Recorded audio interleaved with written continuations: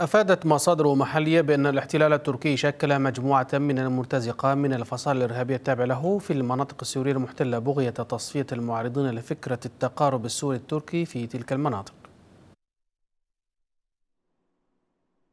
بعد أن استخدمهم كمرتزقة يقاتلون لصالحه في ليبيا وأذربيجان وإقليم كردستان وغيرها من البقاع حول العالم. ها هو النظام التركي يسلط اليوم الفصائل الإرهابية التابعة له على أبناء جلدتهم في المناطق التي يحتلها شمالي سوريا. يضرب بهم من يعارض مصلحته حتى وإن كانت على حساب مصلحة أصحاب المنطقة أنفسهم. مصادر محلية نقلت أن الاستخبارات التركية شكلت ما تسمى كتائب الموت التركمانية في المناطق السورية المحتلة بعد الاحتجاجات التي شهدتها تنديداً بمحاولات التطبيع بين النظام التركي والحكومة السورية. وبحسب المصادر فإن مهمة هذه الكتيبة تصفية واختطاف كل من يعارض أوامر تركيا في المناطق السورية المحتلة وعلى وجه الخصوص مسألة فتح معبر أبو الزندين والحركة التجارية بين المناطق السورية المحتلة وبين مناطق الحكومة السورية. هذه الكتيبة تتبع وفقا للمصادر لما يسمى فصيل السلطان مراد وتعتبر جزءا وامتدادا لمجموعة الذئاب الرمادية التابعة لحزب الحركة القومية التركية. وفي السياق نفسه أصدر النظام التركي قراراً ينص على إخلاء معبر أبو الزندين من جميع الفصائل التي تعارض فتحه. خلال مدة لا تتجاوز 24 ساعة. واستخدم تعزيزات ضخمة وأغلق جميع الطرق المؤدية إلى المنطقة مهددا بحجز أموال متزعمي تلك الفصائل داخل البنوك التركية وخارجها وقطع رواتب عناصرها بالإضافة إلى قطع التيار الكهربائي والإنترنت بشكل كامل عن المناطق السورية المحتلة. والجدير بالذكر أن المناطق السورية المحتلة ولا سيما مدينة الباب تشهد في الآونة الأخيرة احتجاجات شعبية ضد عملية فتح معبر أبو الزندين بين المناطق السورية المحتلة وبين مناطق سيطرة الحكومة.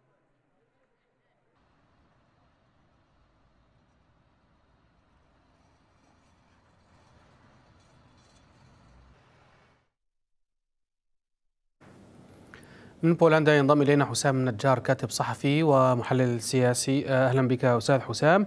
اذا نتحدث عن تشكيل آه، فصائل الاحتلال التركي في مناطق المحتلة شمال سوريا بريف حلب كتيبة تسمى كتيبة الموت التركمانية. آه، لمواجهة معارضي التطبيع ولمواجهة معارضي فتح المعابر آه، التجارية هناك. أستاذ حسام يعني أنت هنا كيف تقرأ هناك المشهد؟ بداية أسعد الله مساءكم أستاذ الكريم. آه، طبعا أنا بحثت من خلال متابعتي الدائمة للوضع التركي في سوريا وللقضية برمتها بحثت جيدا ولم أجد آه، إلا مصدر واحد للمعلومة التي تتفضل بها. نعلم انه هناك تمييز ما بين التركي وما بين التركماني.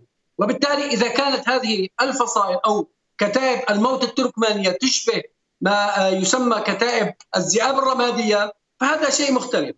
الناحية المهمة جدا أن سوريا بالتركمان هم القبائل التي هاجرت إلى المناطق السورية وبقية المناطق، وبالتالي بحثت جيدا في هذا الأمر. لم أجد إلا مصدر واحد يقول هذه آه، أن آه، موجودة أن هذه الكتائب موجودة، لكن برمته لا تريد تركيا أو تركيا إذا أرادت تشكيل كتائب فلديها كتائب سابقة. لماذا تقوم بتشكيل كتائب جديدة لكي آه، تقوم بملاحقه المعارضين للتطبيع؟ لديها كتائب وقادرة أن تكون هذه الكتائب في آه، طوع يدها وطوع بنانها. آه، أستاذ حسام يعني موضوع المرتزقة بيد تركيا هو ربما يتم الحديث عن تشكيل هذه الكتائب بهذا المصدر الذي أتينا بذكره أنه ربما بسبب فتح معبر أبو الزيندين لأن هناك ضجة كبيرة حول فتح هذا المعبر المعبر. هناك رفض شعبي كبير. هناك بعض آه، العناصر المسلحة أيضا ترفض آه، فتح هذا المعبر. اذا إلى أي درجة فتح هذا المعبر هو مهم بالنسبة للنظام التركي؟ وهذه الفصائل المرتزقه التابعه لها حتى تدافع عنه. سيدي الكريم طبعا التركي يعمل كما قلنا من خلال برامج هي كبيرة جدا سواء من رأس نظامه إلى أدنى عنصر فيه. وبالتالي هو يبحث عن مصالحه وكذلك يبحث عن نقاط أساسية لكي يحتمل التطبيع بفتح بفتح المعابر وخاصة معبر أبو الزندين. لكن الناحية المهمة جدا أن جميع المواطنين وجميع الأهالي في تلك المنطقة يرفضون فتح المعابر وقامت بعض الفصائل بإغلاق هذا المعبر تحديدا. لذلك تركيا ليست بحاجة لتشكيل كتائب معينة تسمى كتائب الموت لكي آه، تجبر الناس على هذا الأمر. هناك لديها كتائب تعمل تحت سلطتها وممكن أن تشكل كتائب أخرى بأسماء معروفة وتخضع الناس لأوامرها وإلى آه، قراراتها، لكن أعود وأؤكد أن فتح المعبر هذا ليس من مصلحة الشمال السوري نهائيا لأنه آه، يسمح بدخول الشبيحة والعناصر التي ممكن أن تقوم بافتعال مشاكل هناك وبافتعال تفجيرات. وبالتالي المناطق النظام هي التي تستفيد من هذا المعبر وليس الشمال السوري. نعلم أن النظام السوري وكل من يقع تحت سطوته يعانون الأمرين من خلال المواد الغذائية ومن خلال بقية المواد وخاصة البترول ومنتجاته ومشتقاته. فتح المعبر ليس من مصلحة الشمال وإنما من مصلحة النظام السوري فقط. أستاذ حسام موضوع فتح المعبر طبعا هي ربما كانت كما يراها مراقبون أنها مقدمة لفتح الطريق الدولي ام 4 لأنه أيضا هناك كان اجتماع روسي تركي حول هذه النقطة وذلك أيضا يخدم مسار التطبيع، هل سيبدأ التطبيع من البوابة التجارية باعتقادك؟ آه للمعلومية أستاذ الكريم البوابة التجارية لم تغلق نهائيا. لم تغلق نهائيا رغم إغلاق معبر أبو الزندين أو غيره من المعابر. وبالتالي البضائع التركية تمر بشكل دائم إلى الخليج العربي من عن طريق سوريا وليس من عن طريق طرف آخر. البوابة التجارية هي الأساس في كل تعامل وبالتالي تركيا تعتمد على هذا نتيجة عدة أسباب، اولا أن منتجاتها قد قلت نسبتها الوصول إلى الخليج قلت نسبتها. ثانيا أن هذا الموضوع التجاري سيعوض السياحي لأن هناك انخفاض كبير جدا في عدد السائحين والسواح الخليجيين تحديدا إلى تركيا نتيجه الحملة العنصرية. الناحية الثالثة أن الام 4 تحديدا هذا مبحث طويل ويتم الحديث عنه في عدة مرات تم اللقاء ما بين التركي وما بين الروسي في لقاءات عديدة جدا وبالتالي تسعى روسيا إلى أن يحصل هذا الفتح لكن تركيا لها بعض المتطلبات من هذا الأمر لكن الجديد في الموضوع أن اليوم تصريح رأس النظام السوري في مجلس الشعب يقول أننا لم نطلب من التركي سحب قواته حتى نبدأ بعملية التطبيع وهذا انسحاب كبير جدا من الموقف المتصلب لنظام في موضوع التطبيع مع التركي. صحيح. آه، أيضا أستاذ حسام بالعودة إلى موضوع الفصائل وه... يعني هذا موضوع الكتيبة التركمانية وكتيبة الموت كما تم تسميته من قبل المصادر المحلية هناك إلى أي درجة تشبه ما شكله شكلته قوات الحكومة السورية منذ بداية الأزمة بكتائب البعث ضد المعارضين وضد الناشطين؟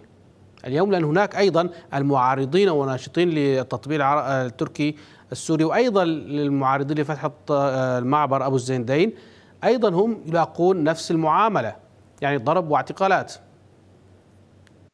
سيد الكريم أعود وأؤكد أنني من خلال بحثي لم أحصل إلا على هذا لكن هناك ممارسات تقوم بها هذه الفصائل التابعة للاحتلال التركي بضرب وفض هذه الاعتصامات. لا خلاف لا خلاف. لكن أنا أعود وأؤكد كي لا يحسب أنني أنا أؤيد الموضوع. أنا أقول من خلال بحثي لم أجد تلك الكتائب في مواقع عديدة أو في حتى في غرف عديدة المهم في هذا الموضوع إذا كان حصول هذه الكتائب فعلا على أرض الواقع فإنها لا تختلف فعلا عن الشبيحة وكتائب الدفاع الوطني التي سميت كتائب الدفاع الوطني وكذلك كتائب البعث وغيره من الكتائب التي تم تشكيلها على الأرض السورية سواء كانت تابعة للنظام أو لغير النظام. بالتالي نحن أمام حركة واحدة وأسلوب واحد يتبع من ضمن الأجهزة الأمنية الدكتاتورية الشمولية التي تريد أن تفرض الرأي والرأي الواحد فقط دون دون المس... مع المساس بأمن المواطنين ومع المساس براحتهم وإقلاق تلك الراحة، اذا نحن أمام خطوة مماثلة لما قام به نظام أسد وشبيحته في حال كانت صحيحة تلك الكتائب. بالنسبة لفتح المعابر الداخلية أستاذ حسام ذكرت أن الفتح المعابر هو ليس من مصلحة المواطنين في الشمال السوري بل هو فقط من مصلحة النظام كما قلت حضرتك يعني وكثيرين من المحللين يقولون ذلك. هناك أيضا رأي يقول أن من يرفض فتح المعابر هم عصابات أو جماعات التهريب باللغة العامية لأن سيضر بعمليات التهريب وتجارتهم تهريب المواد الغذائية وغيرها الكثير طبعا. سيد الكريم آه هذه وجهة نظر محددة لكن نحن لا نبحث في الفوائد الشخصية لمجموعة محددة وانما نبحث في الشكل العام.